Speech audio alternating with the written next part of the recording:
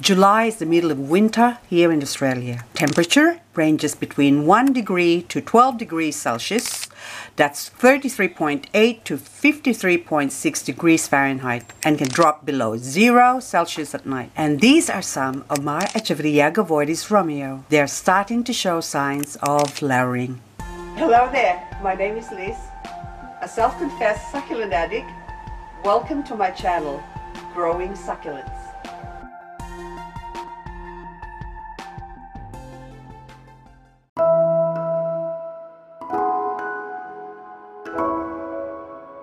It is now September and most of my Romeos that you see on the table here, the stems or the inflorescence, the flower stalks are starting to grow. This one is my original Romeo or this is the original strain. The inflorescence are starting to get a bit bigger. This is Echeveria agavoides corderoyi. This plant is responsible for the Romeos. Without this plant, we wouldn't have any Romeo because Romeo is a mutation from this plant. Basically, what it is is that all the Romeos that we have now came from this original mother plant.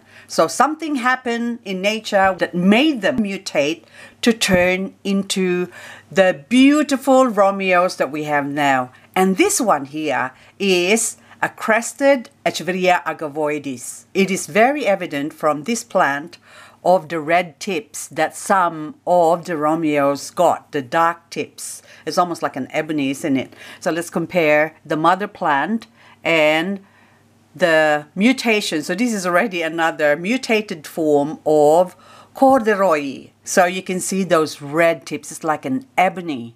And anyway, this one is also flowering and it's just a beautiful, beautiful, beautiful plant.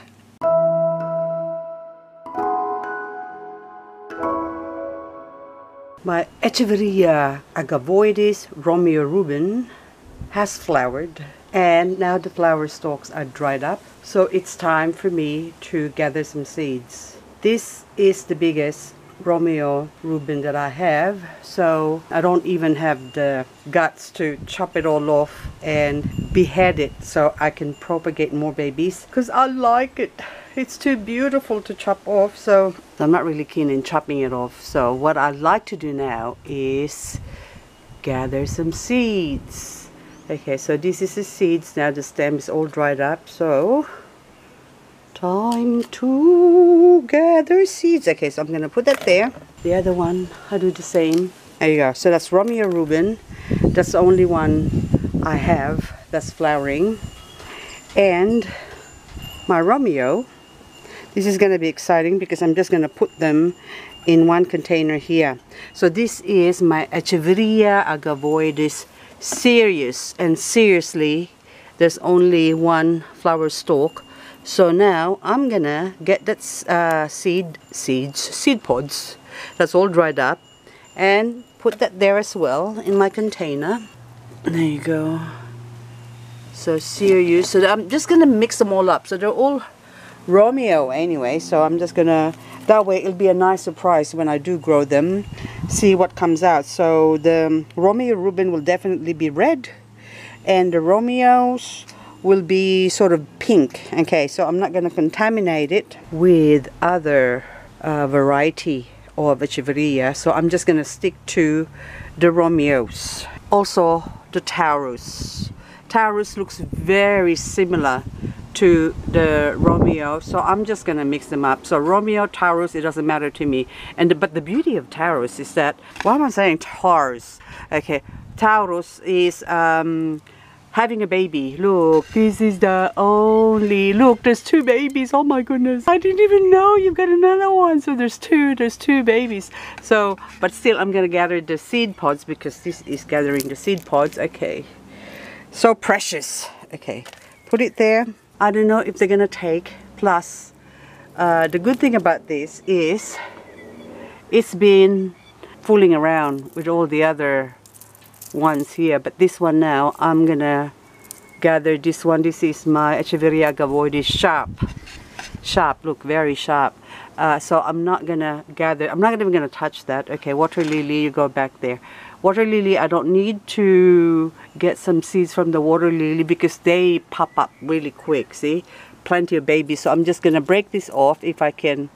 Mm, there you go. Pull it off and throw this away. So the sharp I want to gather the seeds from that and now Taurus Taurus, Taurus, Taurus, okay. When it gets warm, so when the temperature goes up, when it gets hot, Romeo, they go pale, they lose their color. But the Taurus next to it, nah, it's still beautiful. So I don't know now whether they're, they're just a variety of uh, another version of Echeveria corduroy because that is the original plant. So they're all corduroys and then they turn pink and then they go call them Romeo. Oh, Romeo. Okay, never mind. So now this one, ooh, I got aphids up there.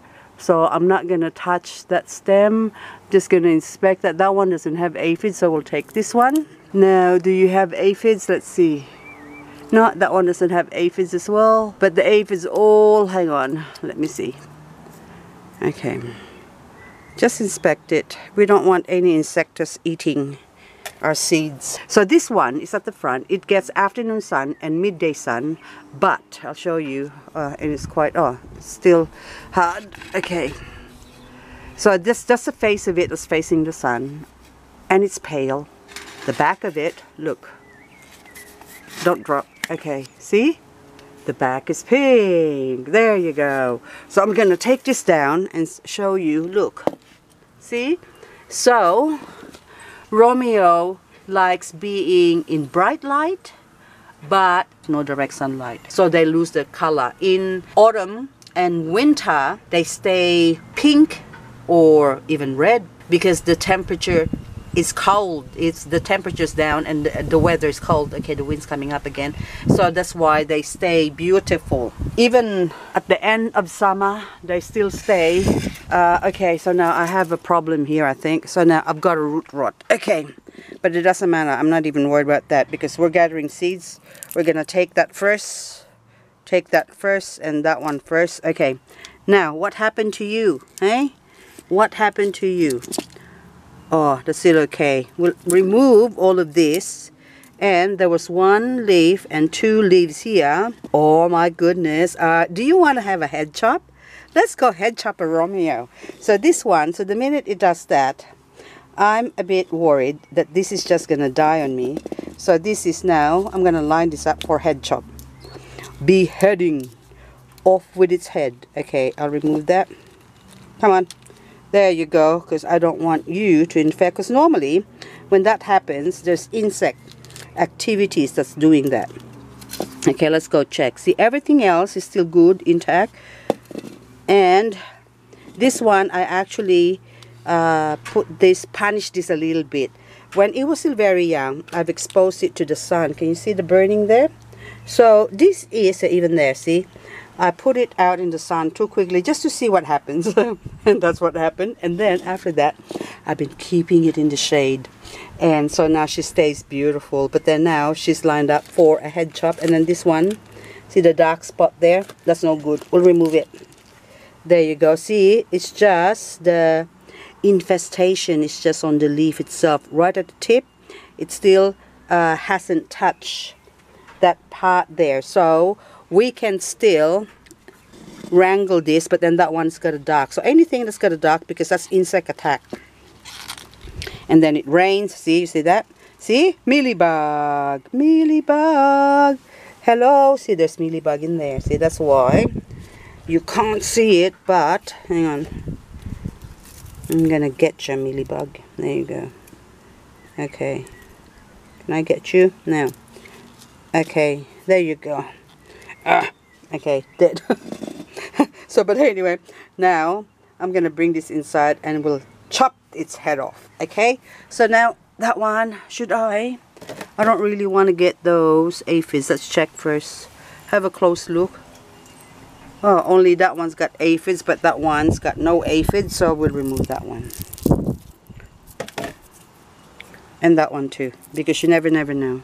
I don't even know if they were pollinated so don't know if I'm gonna have some viable seeds from that. There you go. See that seeds there? See that pod? Each one of them contains a precious cargo. Hang on. There you go. Oh, that one doesn't have uh, aphid, so we'll put it there. So now this is a mix of Romeo Rubin, Taurus, and Romeo. Woohoo! Oh, silly me. I even forgot this Romeo. How can I miss you? Look. Look at all those ripe seed pods opening. Okay, we're going to have to pluck you out. We're going to have to pluck you out, okay, into the container. And those ones too. Over here, I also have these ones. Ah, this is so beautiful. Okay, I got that one from the Romeo Rubin. Okay. Now these other Romeos here, they're only fairly new. They're only babies. So they haven't got any flowers. But anyway, so so far, look, look how much, how much, how much I've got now. So I'm not going to do this all in one video. We're going to do updates. That way you can come along for the ride with me as we go. Check the progress on my vlog. So that way you get to see how it's grown and follow through the all the dramas as well if they're gonna die or whatever but anyway I'll just put this one back in here now. Okay you go back there Romeo. Romeo you're so pretty but anyway those tips in it? Just just gorgeous. But I'm kind of liking okay see this one now. See that one? It looks like it's rotting. It's because it's got baby so we have to remove that because if you don't it might kill the baba. There you go. I'll just break it off just give the baby room to grow. So I really need to chop that off as well. Oh my lord. How exciting. Okay I need to extract the baby from that Taurus